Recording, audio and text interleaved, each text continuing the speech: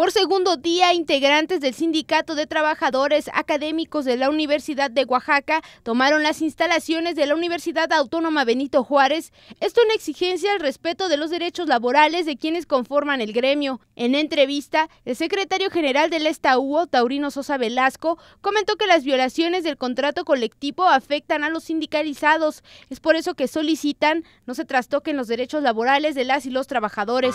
Sabemos que tenemos la este el apoyo de la Asamblea, la encomienda de la Asamblea para poder defender los casos de algunos compañeros que han sido removidos de su, de su área académica en algunas escuelas y facultades de la universidad. Eh, por ello hemos nosotros entregado al rector de la universidad un pliego petitorio donde este, especificamos cuáles son los casos en concreto y, donde pedimos que se justifique el hecho de haber quitado la carga a estos maestros. Al no encontrar ninguna justificante, bueno, pues exigimos que se les reintegre a sus, a sus cargas académicas. Sosa Velasco aseveró que los inconformes están esperando una respuesta por parte de la Administración Central. Añadió que los intereses políticos del padre del rector de la UAPJO, Abraham Martínez Alavés, obstaculiza las negociaciones y no permite la resolución del conflicto interno. Y ha decidido eh, el cumplimiento, ha decidido exigir el cumplimiento de nuestro contrato colectivo y de que los maestros, la principal demanda es que los maestros se reintegren a sus centros de trabajo a la brevedad. ¿sí?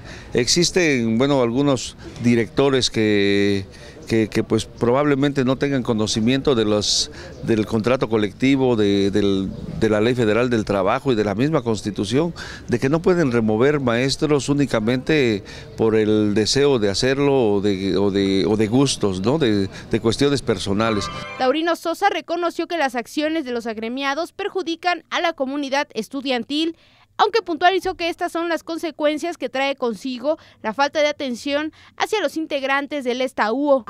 Que no es posible tomar decisiones unilaterales, que los maestros tienen antigüedades que van desde 1 hasta 24 años, tienen algunos compañeros que han sido retirados de sus cargas sin ninguna justificación.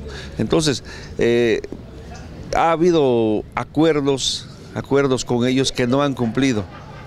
Y esos acuerdos son donde precisamente nosotros hemos puesto de nuestra parte, tolerando el hecho de que haya iniciado un semestre y el maestro no pueda integrarse a la mitad de este, porque obviamente el lugar está ocupado por otra persona de manera temporal. Pero ya esperamos demasiado, hemos sido muy tolerantes y si hoy estamos tomando estas acciones es porque ha habido todo un año de, de negociaciones. Con imágenes de Alan Ramírez, reportó para MBM Televisión, Vicky Ramírez.